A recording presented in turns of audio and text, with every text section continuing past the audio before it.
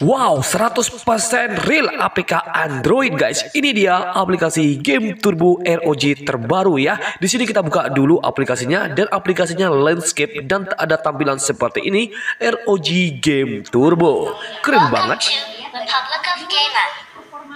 Dan ini dia aplikasinya. Aplikasi ini memiliki tampilan yang sangat istimewa banget dan memiliki fitur yang bisa kalian andalkan untuk meningkatkan performa device kalian, terutama saat bermain game. Di sini ada game-game yang udah saya tambahkan tadi.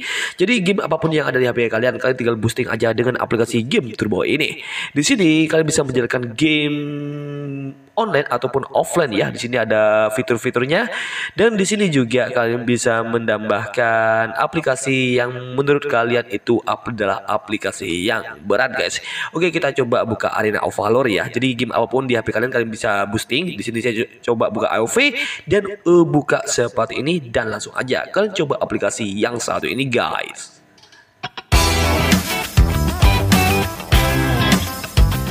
Halo guys, jumpa lagi dengan saya di sini di YouTube channel Aplikasi Project. Di video kali ini guys, saya mau meng-share sebuah aplikasi yang sangat menarik sekali untuk kalian gunakan. Jadi aplikasi yang saya bagikan untuk kalian ini adalah aplikasi Game Turbo ROG yang paling keren ya. Nah, aplikasi ini memiliki fitur yang bisa kalian andalkan. Nanti saya jelaskan ya kalau udah kebuka aplikasinya atau udah diinstal oleh kalian aplikasinya. Aplikasi ini memiliki tampilan landscape dan fiturnya itu keren banget yang bisa kalian gunakan untuk bermain game. Kalau kalian merasa device kalian itu lag atau frame drop, kalian bisa menggunakan aplikasi Game Turbo ROG yang satu ini untuk mengatasi, mengatasi performa yang kurang bagus saat menjalankan game guys. Tentunya game apa pun yang ada di HP kalian, kalian bisa boosting dengan aplikasi game turbo yang saya maksud ini. Oke, tidak usah berlama-lama lagi guys. Jika kalian ingin memiliki aplikasi yang saya maksud itu, langsung aja kalian ke deskripsi. Di sana ada link downloadnya. Kalian tinggal download aja seperti biasa. Tapi sebelum itu jangan lupa untuk subscribe channel ini, like dan share juga. Bagikan ke teman-teman kalian agar teman-teman kalian tahu apa yang kalian tahu. Jika udah langsung langsung aja kalian download aplikasinya guys. Oke tidak usah berlama-lama lagi, kita langsung aja ke aplikasinya ya. Oke pertama-tama di sini saya tunjukin cara downloadnya dulu ya karena terkadang masih ada aja yang bertanya cara downloadnya gimana.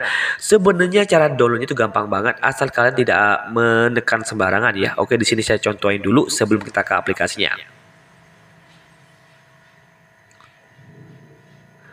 Aplikasi project. Ah, oke okay, saya contohin ya, contohin di video yang paling atas ini ya. Saya contohin di video paling atas ini aja. Lalu, hab, habis itu, habis itu kalian tinggal buka aja deskripsi channel ini buka aja di, di, deskripsi channel ini dan cari aja link downloadnya. Jika tidak ada di deskripsi, biasanya saya naruhnya itu di link komentar. Kalian tinggal klik aja link komentar. Nah, di sini di link komentar ada komentar yang di pin ya dan kalian klik aja. Nah, di sini ada link downloadnya. Yang pertama itu link download, dari Get for Link. Di bawahnya tutorialnya. Kalau kalian mendownload dari link ini, kalian bisa mendapatkan aplikasinya jauh lebih cepat, tetapi kalian harus melewati iklan dulu. Kalau kalian kebingungan mendownload dari link ini, kalian bisa melihat tutorialnya di sini. Dan kalau kalian masih kebingungan, kalian tinggal download aja di link alternatif di sini ya. Dan kalau kalian tidak sengaja menemukan passwordnya, kalian tinggal download di link media fire langsung begitu. Oke langsung aja kita buka link alternatif, klik aja link alternatif. Dan nanti kalian akan diarahkan ke website seperti ini. Habis itu kalian tinggal geser aja ke bawah dan silakan cari aja detik yang berjalan guys. Nah ini udah ketemu detik yang berjalan ya. Kalian tinggal tunggu aja sampai detiknya selesai. Jika ada iklan seperti ini kalian tinggal close aja ya. Nah aplikasi ini bisa kalian gunakan untuk meningkatkan performa device kalian terutama saat bermain game guys.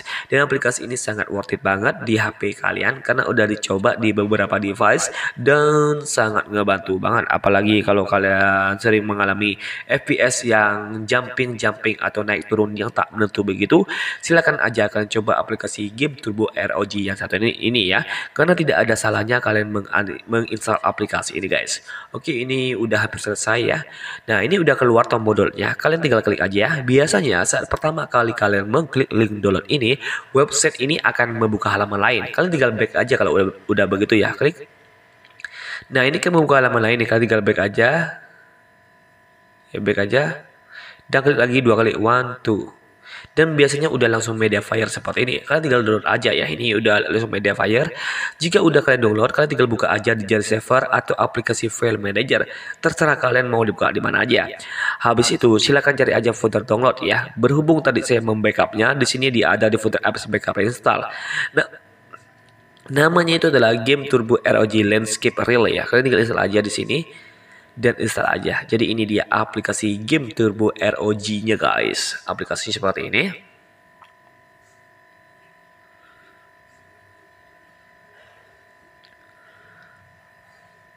Nah, jika ada notifikasi seperti ini, kalian tetap uh, tetap tetap simpan aplikasi ya. Karena aplikasi ini tidak ada uh, uh, diinstal dari luar Play Store. Jadi uh, Google menyuruh kalian untuk menginstal begitu ya. Se sebenarnya aplikasi ini aman banget, juga nggak ada virus sama sekali. Saya jamin 100%. Kalian tinggal tetap install aja begitu ya. Habis itu kalian tinggal back aja dan eh, ROG Game Turbo-nya kalian tinggal klik aja dan aplikasi seperti ini.